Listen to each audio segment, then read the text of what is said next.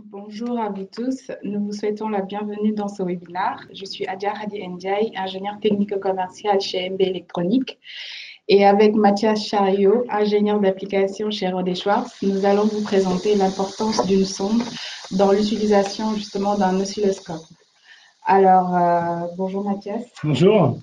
Donc oui, donc effectivement, ce webinaire euh, va être basé sur la partie euh, sonde, parce qu'effectivement, quand on achète ou quand on utilise un oscilloscope, on, ben, on pense qu'à l'oscilloscope. Alors que le premier étage d'entrée d'un oscilloscope, ça reste la sonde, et à peu près 50% du temps, on utilise une sonde avec un oscilloscope. Donc, c'est euh, très important de choisir la, bonne sonde avec le bon oscilloscope, tout simplement. Alors, une petite précision, si vous avez des questions, n'hésitez pas, vous avez deux onglets, l'onglet chat ou l'onglet questions. Et euh, à la fin, on va essayer d'y répondre. Donc, on va commencer euh, ce webinaire tout simplement pour euh, une, première, euh, une première partie. C'est voilà, tout simplement, c'est on se retrouve généralement avec un choix de sonde assez important. Quand vous achetez un oscilloscope, vous devez d'abord acheter l'oscilloscope, mais aussi penser à la sonde. Alors bien sûr, les sondes sont livrées souvent avec l'oscilloscope. Et vous ne pensez pas forcément que la sonde soit bien adaptée avec votre mesure. Et euh, en plus, euh, si on regarde un peu le portfolio, c'est-à-dire la gamme en, en, sondes que l'on peut proposer, eh bien, il y a différentes sondes disponibles, des sondes différentielles unipolaires, euh, passives, actives, et il est assez difficile de se dire, ben voilà, j'ai besoin de telle sonde pour telle application. Donc le but euh, de ce, ce webinaire, c'est d'avoir une idée, au moins, de, euh, ben, on démarre par la mesure, et après de cette mesure, on va se retrouver sur une sonde. Parce que quand on regarde effectivement tout ça, quelles sondes choisir pour quelle mesure Tout à fait. Euh, du coup, tu vas plus nous expliciter pourquoi il y a un si large choix de sondes pour ces oscilloscopes. Tout à fait, parce que, en gros, premièrement, je tiens à vous dire, la sonde idéale, elle n'existe pas. Voilà. Donc, une sonde idéale, c'est quoi? C'est une sonde qui n'influence pas le signal. Parce que, pour rappel, une sonde, son utilité, c'est de se mettre sur votre circuit et d'être le lien entre le circuit et l'oscilloscope. Et donc, la sonde, dès qu'on va mettre la sonde euh, sur le circuit, eh ben, elle va influer le signal. Donc, quelque part, une sonde idéale, c'est quoi? C'est pas de charge, une très haute résistance, de façon à ne pas atténuer le signal, euh, facile à connecter, euh, pas d'atténuation, une bande passante infinie, allons-y, pourquoi pas. Donc ça, c'est la sonde idéale. Effectivement, il va falloir faire un certain nombre de compromis parce que cette sonde n'existe pas. Mais souvent, on nous parle en fait de fidélité et intégrité du signal. Oui, parce que euh, quelque part, euh, quand on parle de sonde, effectivement, on doit forcément connecter la, la sonde sur le circuit. Et euh, souvent, on, on, la sonde, elle va représenter le signal qui traverse notre circuit, mais elle va le déformer. Donc, il va y avoir deux choses importantes et qui euh, correspondent à deux compensations complètement différentes ou deux phénomènes complètement différents. La première chose, c'est quand je mets la sonde, cette sonde va modifier le signal. Et en plus, le signal va passer à travers le corps de sonde jusqu'à l'oscilloscope. Donc, quand on modifie le signal, en gros, c'est euh, l'intégrité de signal, c'est-à-dire je plug ma sonde sur mon circuit et je viens déformer physiquement ce, signal-là euh, par le temps de montée, des overshoots, etc. On verra ça tout à l'heure. Et donc là, je modifie réellement mon signal. Ça, c'est l'intégrité de signal. Et ensuite, l'oscilloscope, au final, à travers la sonde, qu'est-ce qu'il représente comme, euh, forme d'onde? Est-ce que c'est la réalité euh, sans la sonde? Est-ce que c'est la réalité avec la déformation de la sonde? Et donc ça, on parle de fidélité de signal. C'est comment on peut montrer correctement le signal tel qu'il est, même sans sonde euh, pluguée. Donc ça, c'est important, c'est intégrité de signal, fidélité de signal. Je vous donne un petit exemple là. Par exemple, euh, je dois aller, là ici c'est un petit ampli avec un filtre euh, au niveau graphique, euh, et je dois aller plugger ma sonde sur ma sortie pour aller euh, régler ma fréquence de coupure. Ma fréquence de coupure sur tel circuit, euh, elle est représentée ou elle est directement liée par rapport à ma capacité et ma résistance RC et euh, capacité CC. Donc, si je veux régler ma fréquence de coupure, je pourrais très bien régler ma résistance ou ma capacité.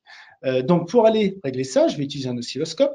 Je vais plugger ma sonde directement. Et en pluguant ma sonde, on voit que ma sonde, elle, possède intrinsèquement euh, une résistance aussi et une capacité. Donc, quelque part, si je plug ma sonde sur mon circuit et je vais commencer à régler ma capa de mon design pour avoir la bonne fréquence de coupure ou le bon gain, pourquoi pas aussi, et eh ben, dès lors que je vais tout simplement retirer ma sonde, ça va changer cette valeur-là et au final, ce que j'aurais réglé n'est pas forcément la réalité. D'accord? Et donc, où sera euh, en défaut? Donc, ce qui est important de voir, c'est qu'ici, quand je plug une sonde, il va y avoir deux phénomènes qui vont rentrer en compte. C'est une résistance et une capacitance euh, ou une capacité. Euh, et quelque part, il va falloir maximiser cette résistance RP et minimiser cette capacitance. Et donc ça, c'est dans le cas de sondes assez simples de type passive. Donc la première chose à voir, c'est que quand je vais mettre une sonde, c'est pour aller regarder un signal. Donc pour regarder ce signal, il va falloir prendre en compte un certain nombre d'éléments. Premier élément, c'est la bande passante. Quand j'utilise une sonde, combien de bandes passantes il me faut? Avec un oscilloscope, on fait cette analyse-là, mais on va rajouter une sonde. On va voir que quand on ajoute une sonde sur un oscilloscope, ça va changer la bande passante système. Donc la première chose, c'est de se dire, voilà, sur un signal, par exemple un signal carré euh, ou un signal de type I2C, SPI, bus série, euh, bah, quelque part, un signal se transforme ou se décompose en plusieurs harmoniques. Vous avez une première fondamentale, mhm. une troisième, une cinquième, une septième, une onzième, une neuvième, etc.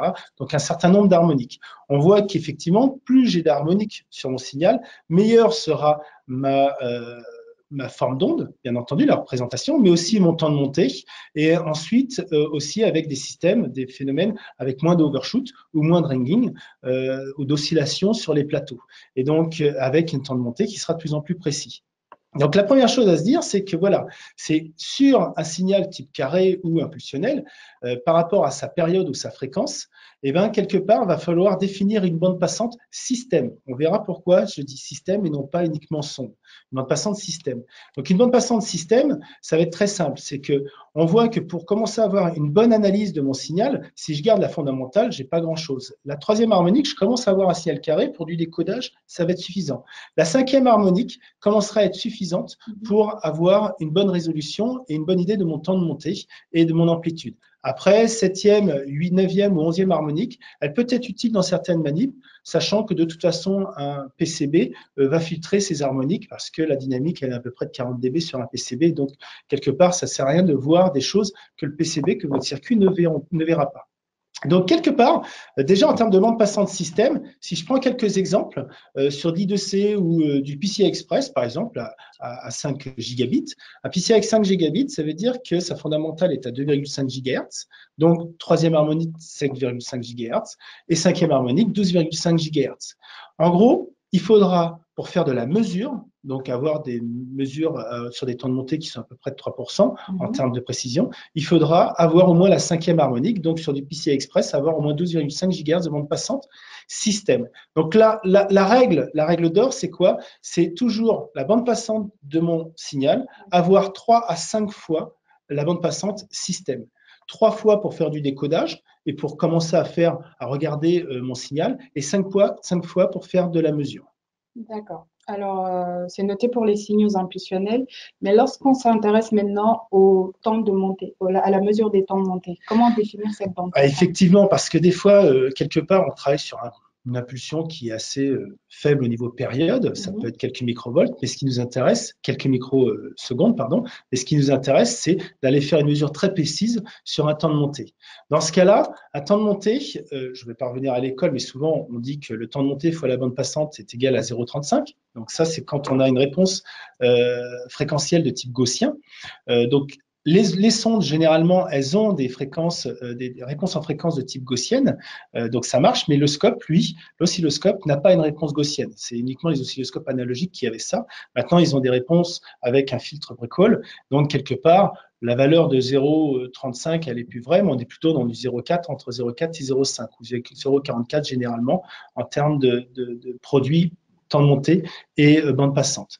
Donc, quelque part, la règle, elle est extrêmement simple, c'est que la fréquence qu'on va avoir besoin en termes de bande passante système, il faudra faire 0,5 fois, ça sera le pire des cas, on va dire, euh, divisé par le temps de montée de votre, de votre signal à mesurer. Donc, quand on connaît le temps de montée de mon signal à mesurer, c'est très simple. On fait ce ratio-là et dans ce cas-là, on va aller regarder directement mon signal avec une bande passante système à 0,5. Donc ça, c'est le plus important. Donc, alors bien sûr, par rapport à d'autres méthodes, c'est-à-dire ou à d'autres oscilloscopes, on peut être sur du 2 sur 2 euh, pi ou sur du 0,4, quoi 1 sur 2 pi c'est 0,15, ou 0,4 tout simplement. C'est pour ça que je prends vraiment un peu de marge à 0,5. Et généralement, 0,5, on se retrouve sur des précisions à peu près à 2-3% sur mon temps de montée, qui sont suffisantes dans 99% des cas.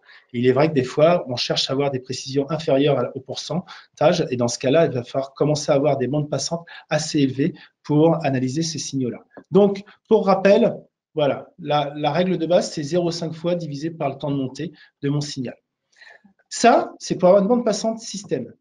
Parce que comme je vous disais tout au début, on a une bande passante oscilloscope et une bande passante euh, de type sonde euh, qui ont des réponses en fréquence qui sont des fois différentes, à 0,35 ou 0,4 comme je vous disais. Mais quelque part, euh, la mesure va voir l'ensemble de ces paramètres S. Parce que quelque part, une bande passante, c'est tout simplement un S2A, un paramètre S de transmission à travers la sonde. Et donc, l'élément à tester, euh, où le système va être composé à la fois de la bande passante, donc de la fonction de transfert de ma sonde, et la fonction de transfert de mon oscilloscope.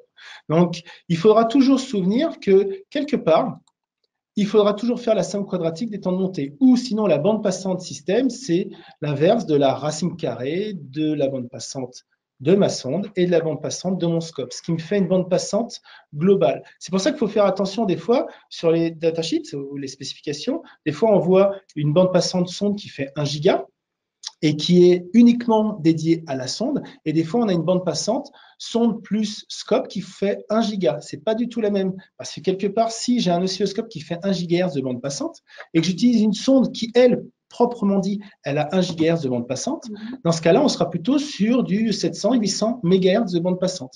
Donc, il faut faire attention à ça.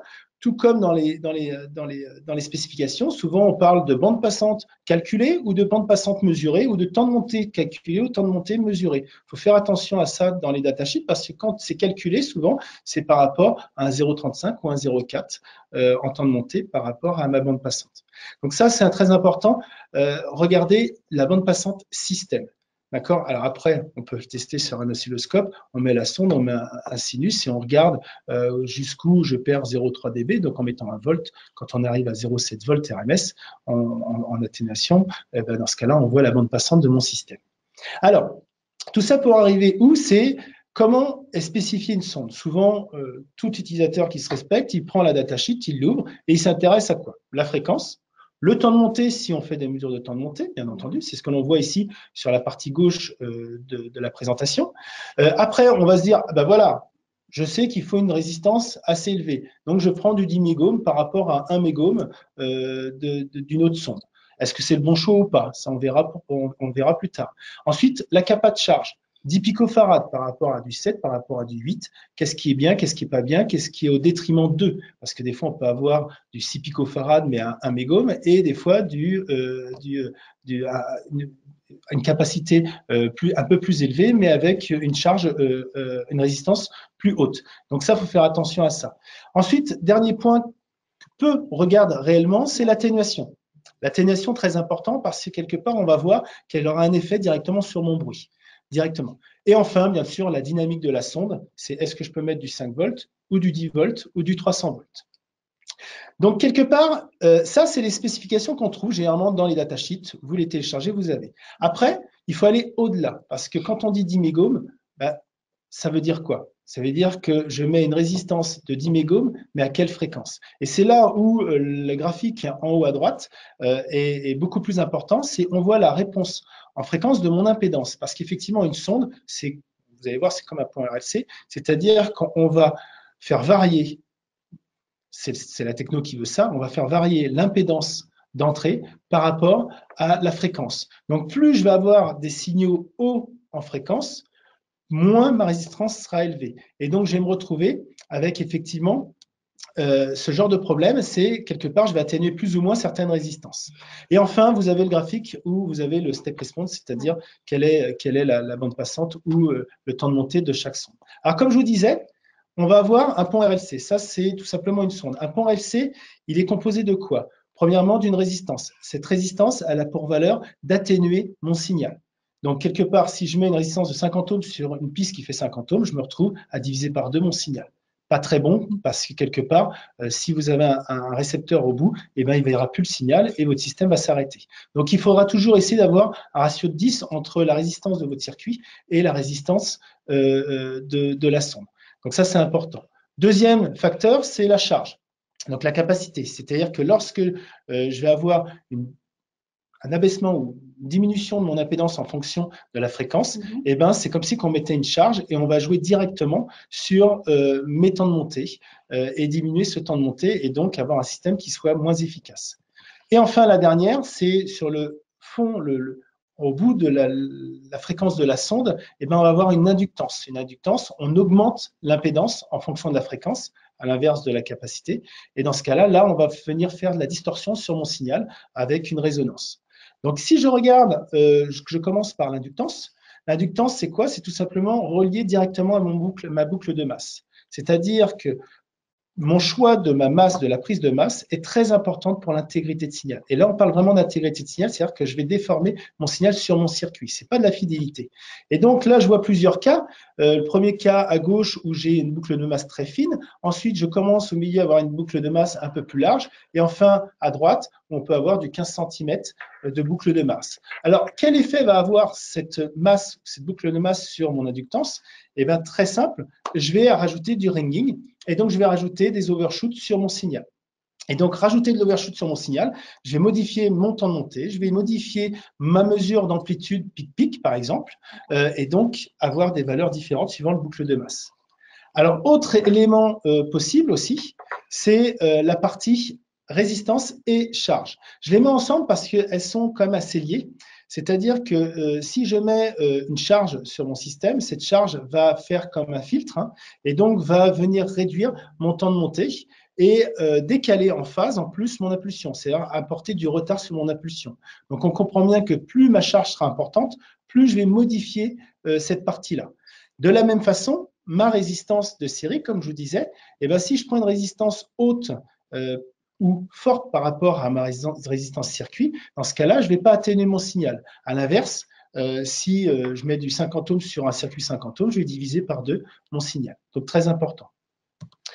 Un point capital, à mon sens aussi, c'est la partie atténuation. Vous avez des sondes qui sont par 1, des sondes par 10, des sondes par 2. Qu'est-ce qu'il faut choisir à quel moment? Eh bien, très important, parce que des fois, on fait un choix dans l'oscilloscope et on dit, voilà, je vais prendre tel oscilloscope parce qu'il fait 100 microvolts de bruit en moins qu'un autre oscilloscope. Mais derrière, je vais mettre une sonde passive. Et une sonde passive, dans ce cas-là, vous comprenez bien que si je mets une sonde passive euh, par 10, euh, et ben, que je veux regarder un signal qui fait 100 millivolts, mhm. mon calibre, donc 10 millivolts par division, donc mon calibre va se retrouver à 1 millivolt par division. Par rapport à une sonde par 1, où si euh, je suis toujours sur mes 100 millivolts par, en, en, signal, je me retrouve seulement à 10 millivolts par division, puisque je n'atténue pas le signal. Et 10 millivolts par division, on a un meilleur rapport signal à bruit que 1 millivolt par division. Donc tout le gain qu'on a fait sur les 100 microvolts, soi-disant en niveau scope, on va les perdre juste en mettant la sonde. Donc toujours penser à ce que je veux mesurer pour choisir la bonne sonde. Donc quelque part, si je veux des choses assez précises ou faible bruit, une sonde par 1 sera beaucoup plus euh, euh, utile qu'une sonde par 10 ou en sonde active, des sondes par 2, ça existe en sonde active, euh, sera mieux, seront mieux que des, des sondes par 10 aussi. D'accord, je, vais reboucler sur ce que tu viens de dire. Et du coup, pour résumer, quelles sont les principales applications qui ont besoin, euh, utilisant une sonde en fait? Alors, on va, pas, on va brosser un peu les différentes sondes et euh, je vais vous expliquer un peu euh, où les utiliser mhm. et, ou pas. Mais c'est surtout où utiliser la sonde. On revient sur la sonde passive. La sonde passive, il existe deux types de sondes, des sondes par 1 et des sondes par 10. D'accord? Donc la sonde par 10, comme je vous disais, elle a euh, l'inconvénient, si j'ose dire, d'augmenter par 10, euh, pas d'augmenter par 10, mais de faire un zoom par 10 sur, sur mon bruit, puisqu'on utilise un calibre qui est bien plus inférieur qu'une sonde par 1. Par contre, elle passe de la bande passante, 500 MHz, et étant donné qu'on est par 10, on a 10 fois plus de offset au niveau d'essai euh, au niveau réglage de l'oscilloscope. Donc ça, c'est un avantage. La sonde par 1, elle, elle va venir euh, représenter le signal sans aucune atténuation. C'est-à-dire, quelque part, on aura optimisé la sensibilité de nos calibres et donc la finesse de mon bruit. Par contre, une sonde par 1, effectivement, moins de bande passante sur une sonde passive. Elle est plutôt d'une quarantaine de mégahertz, euh, mais il existe des sondes par deux au niveau des sondes actives. Comment je représente une sonde passive? Au niveau graphique Très simple, c'est que vous avez euh, donc une pointe de sonde qui donne une résistance RP et CP. Donc ça, c'est directement mon 10 mégome, euh, 6 picofarads ou mon 1 mégome et tant de picofarads. Euh, après, vous avez la partie câble. Et enfin, en réception, vous avez une capa qui permet de compenser la sonde. Donc, c'est une capacité de sortie de la sonde pour adapter cette sonde passive à l'entrée de l'oscilloscope. Chaque oscilloscope possède une entrée avec une certaine capa. Donc, ça peut être du 5, 6, 7, 8 microfarads, euh, par exemple, euh, microfarads. Et donc, quelque part, il va falloir adapter euh, la capa de sortie de la sonde à la capa d'entrée du scope ce qui permet d'utiliser effectivement des sondes avec différentes oscilloscopes au niveau sonde passive. Donc cette compensation, elle est extrêmement importante parce que euh, si, je représente ici euh, le type de compensation, sur la gauche, en haut à gauche, vous avez une sous-compensation et en, bas à gauche, vous avez une surcompensation. Euh, quelque part, c'est visible là parce qu'on est sur un signal BF et on voit cette compensation, cette charge ou cette décharge au niveau de la capa sur les plateaux. Par contre, imaginez-vous que si je travaille sur un signal plus rapide et donc que je représente uniquement les 10 premiers pourcentages euh, en termes de temps de mon impulsion, on ne va pas voir cet effet de euh, compensation ou de surcompensation. On va, pouvoir, on va avoir plutôt une différence de niveau. Donc, ça ne sera pas visible sur des signaux plus rapides. On aura directement, on se dira, tiens, et eh ben voilà, euh, j'ai 3 volts au lieu d'avoir 3 volts 2. Donc, très important à faire, c'est cette partie compensation. D'accord. Alors, j'ai cru comprendre en fait que les sondes passives étaient limitées en bande. Et du coup, euh, Relais Schwartz propose quelle solution lorsqu'on travaille en haute fréquence alors? Alors oui, là pour l'instant, on parle de sondes passives, très facile à utiliser, on plug, haute dynamique, etc. Mais souvent, on a besoin d'aller regarder des signaux qui sont haute fréquence à 2, 3, 4, 10, 16 gigas, pourquoi pas, allons-y. Donc dans ce cas-là, on va avoir deux types de sondes qui sont disponibles sur le marché. C'est des sondes conventionnelles, mhm. on va les appeler les RTZD ou ZS, c'est des sondes différentielles ou sondes unipolaires. Donc sondes conventionnelles, c'est des sondes qui généralement font des atténuations par 10, qui ont un mégome en impédance d'entrée et qui font 0,6 picofarad. Donc un mégome, 0,6 picofarad farad sur ces fréquences-là, euh, c'est assez intéressant et assez précis. Ça ne perturbe très peu le signal. Alors ces sondes-là, elles ont en plus, alors elles vont pas passer du 300 volts, ça faut faire attention. Elles vont passer plutôt du plus ou moins 5 volts. Mais par contre, on peut rajouter un élément, comme vous voyez sur le graphique, un élément en plus devant le son, qui, est une atténuation supplémentaire pour pouvoir non plus avoir une atténuation par 10, mais par 100. Ça permet tout de même de pouvoir aller regarder des signaux plus élevés, de l'ordre de 46 volts, euh, sur ce type de son parce qu'on atténue par 10. Donc, quelque part, cette sonde, on va pouvoir l'utiliser à la fois pour des tensions un peu plus élevées et des tensions plus faibles, juste en, en rajoutant un élément de vent qui sera entièrement compensé par l'oscilloscope. C'est ce qu'on appelle la fidélité du signal. Donc ça, c'est la première sonde différentielle unipolaire. Ensuite, vous avez une deuxième type de sonde qui, elle, on appelle ça plutôt du modular probe. En gros, c'est quoi? C'est une sonde qui va vous permettre euh, d'aller regarder non plus uniquement une différence, mais d'aller voir différents modes. Et surtout, au niveau de l'embout de sonde, on va pouvoir mettre un certain nombre de tips pour aller regarder précisément le signal. Si je regarde les caractéristiques de ces sondes, c'est des sondes qui vont jusqu'à 16 GHz de bande passante et qui ont des atténuations qui peuvent être par 10, mais par 2 aussi. Donc, c'est-à-dire qu'une atténuation par 2 sur ces fréquences-là, ça commence vraiment à être intéressant pour l'intégrité de signal et la fidélité de signal. Si je regarde à l'intérieur de cette sonde comment elle est, constituée, c'est très simple. Vous avez un, module, un type, ce qu'on appelle, sur lequel on va pouvoir mettre la partie positive et négative du signal. Et juste en appuyant sur un bouton, aller regarder le mode différentiel, le mode commun, P plus N sur 2, ou le mode unipolaire, donc la, la, partie positive par rapport à la masse ou la partie négative par rapport à la masse.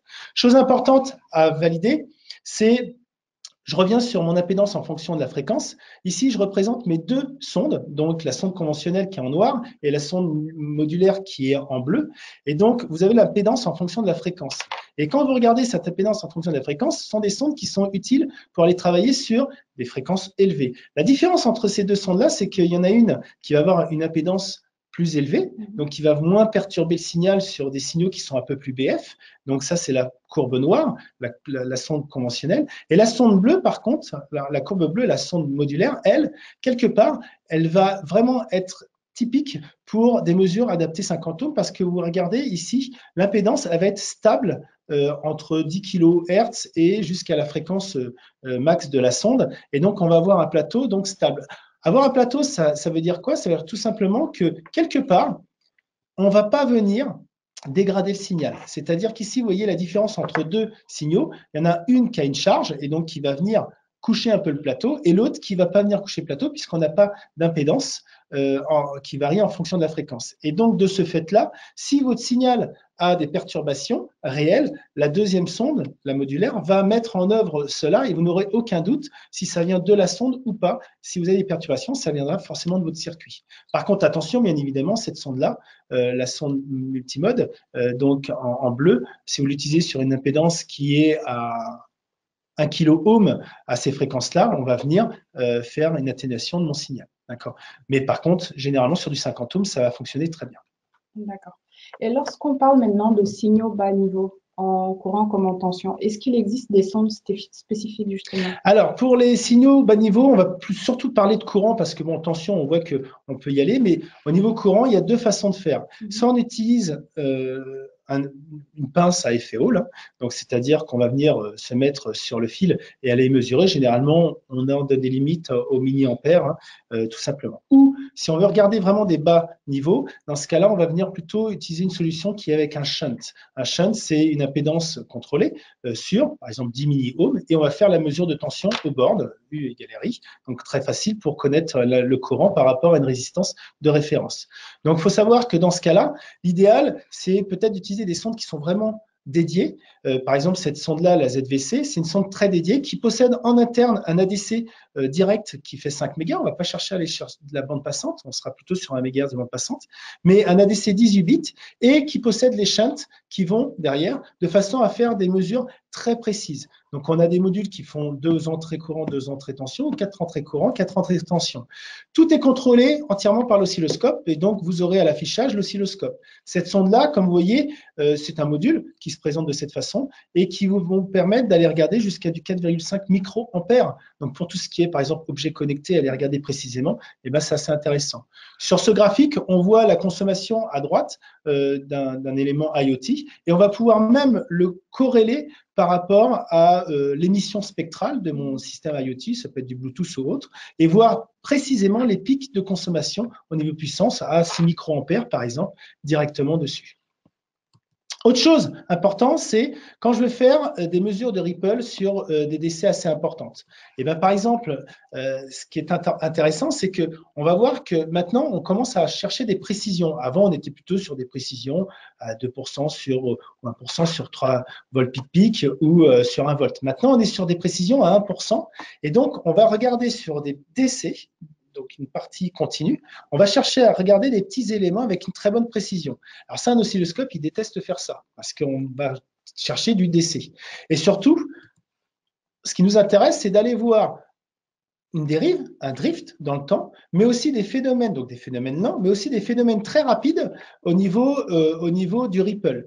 Et ça, faut savoir que généralement, quand je prends un oscilloscope, si je veux voir la partie AC, je me mets euh, en AC sur l'entrée oscilloscope, ça élimine le DC, donc je vois ces phénomènes de ripple, mais je perds euh, ma dérive ou mon drift. Donc je ne peux pas avoir les deux en même temps.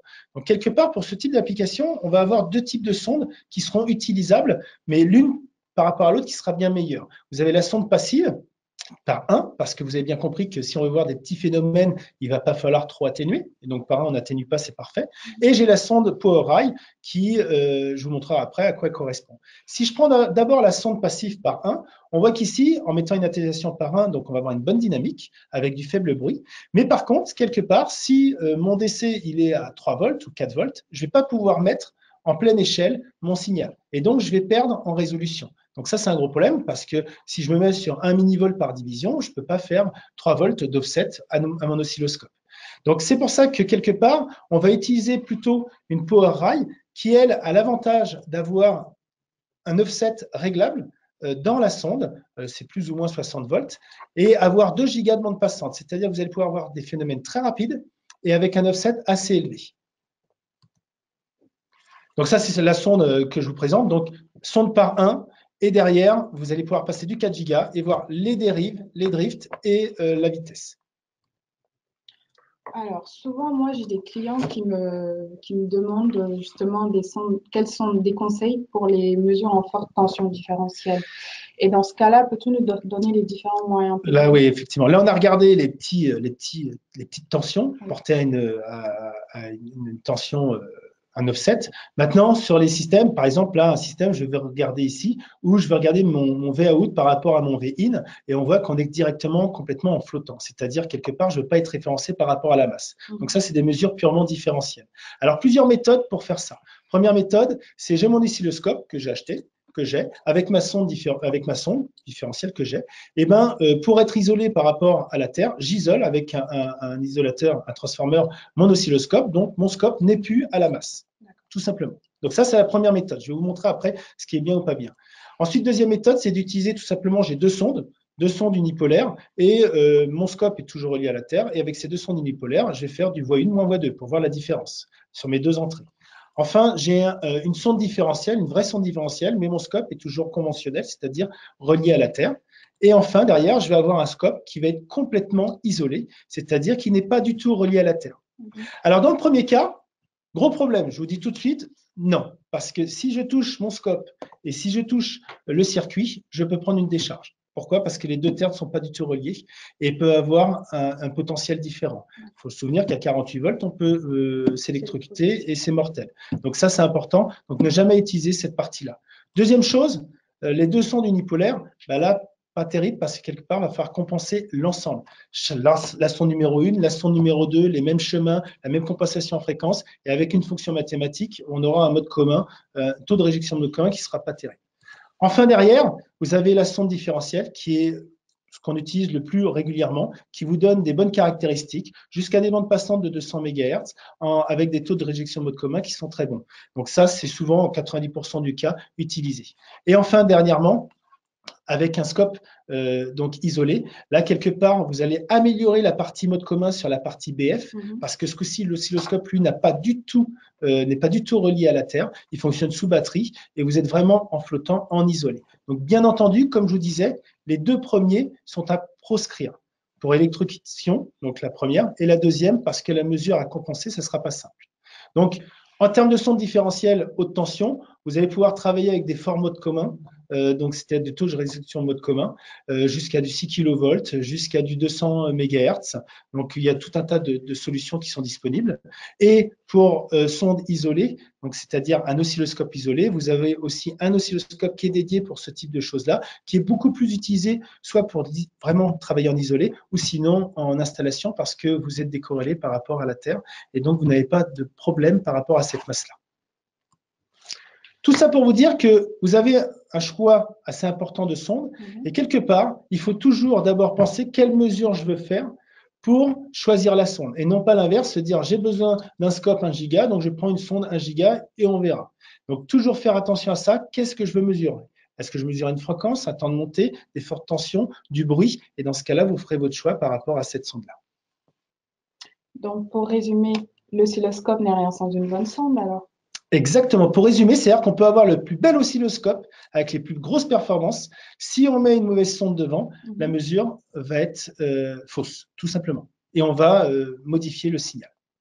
D'accord. Alors, merci beaucoup, Mathias. Maintenant, on passe à la partie question. Maintenant, alors, on a déjà une question. Euh, alors, le client nous pose la question intégrité et fidélité.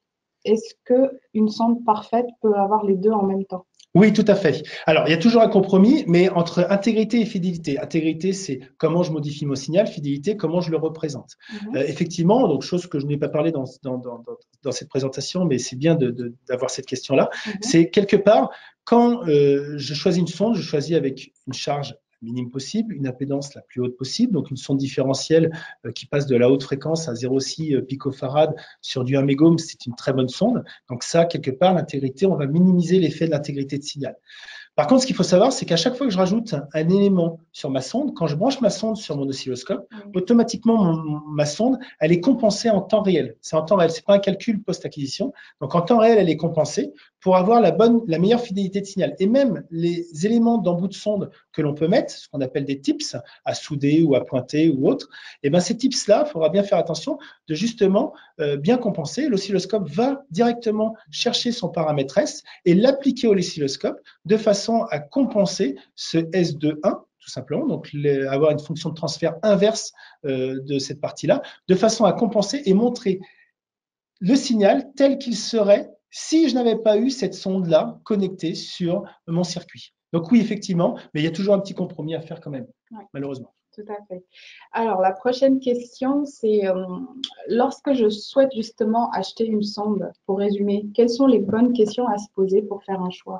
Alors, les bonnes questions à se poser, comme je vous disais, c'est, je reviens toujours à la mesure. Qu'est-ce que je veux mesurer? Je veux mesurer un phénomène très faible, euh, suivant la bande passante, donc en amplitude. Dans ce cas-là, une sonde avec une atténuation par 1 ou par 2, par 1 en, passif ou par 2 en, en, actif, c'est-à-dire euh, sur des sondes, on va dire, qui font de la bande passante. Dans ce cas-là, ça sera le choix numéro 1. Euh, d'autres clients vont être de dire, moi, je cherche à avoir la meilleure dynamique possible ou à avoir des mesures de ripple sur des offsets, et dans ce cas-là, automatiquement la sonde. Donc les questions à se poser, c'est premièrement la bande passante. Est-ce que j'ai la bande passante qu'il faut? Système, donc sonde plus oscilloscope, parce que souvent on peut vendre des sondes à 1 GHz, mais par contre, je le mets sur un oscilloscope qui fait 1 GHz, j'aurai pas mon GHz euh, de bande passante. Deuxièmement, quelle est l'atténuation? Pour avoir une idée si je perturbe ou si, disons, je dégrade le bruit de mon système. C'était un scope plus sonde possède un bruit. Et souvent, ce qui est spécifié, c'est uniquement le bruit du scope. Et donc, il faut regarder en globalité au niveau système. Donc, si j'utilise une sonde par 10 et que je suis intéressé par le bruit, eh ben, il faudra regarder à 100 millivolts, par exemple, full dynamique, euh, quel est le bruit à 1 millivolt et pas à 10 millivolts par division. Ça, c'est à prendre en compte pour voir ce genre de choses. Et enfin, la dernière chose, c'est qu'est-ce que je veux mesurer? Si euh, votre but, c'est de mesurer, euh, par exemple, un mode commun, euh, forcément, une sonde type modulaire sera plus adaptée parce que vous pourrez tout simplement, en appuyant sur un bouton, avoir la partie mode commun qui sera fait de façon hardware dans le corps de sonde et avoir directement en temps réel ce mode commun au lieu de passer par une sonde numéro 1 et une sonde numéro 2 et faire voix 1 plus voix 2 divisé par 2. Et là, vous avez un taux de résolution de mode commun sur un scope entre deux voix qui est de l'ordre de 23 dB ou 25 dB euh, sur des bandes passantes à 10 GHz. Alors, ce n'est pas le cas en dessous du gigahertz, bien entendu, ce sera meilleur. Mais euh, si on regarde à, ces fréquences-là. Donc, toujours revenir à la mesure pour savoir ce qui est important de mesurer et donc choisir la sonde qu'il faut. D'accord, ok, merci. Et la dernière question, euh, cette présentation pourra-t-elle être revue à volonté en ligne? Alors oui, euh, vous pourrez la regarder sur la page YouTube de, de notre site MB électronique, notre page MB électronique sur YouTube. Voilà, donc euh, cette session, elle est enregistrée, donc forcément, vous l'aurez à disposition et, vous pourrez la télécharger ou aller la regarder euh, volontiers. Alors, merci beaucoup d'avoir assisté à ce webinaire et merci Mathias euh, pour ces explications. C'était merci. Puis, en espérant vous revoir aussi sur les prochains webinaires que l'on va faire, vous allez voir qu'il y a d'autres webinaires qui vont suivre tout au long de l'année. Je vous remercie et très bonne journée à vous. Bonne journée, au revoir.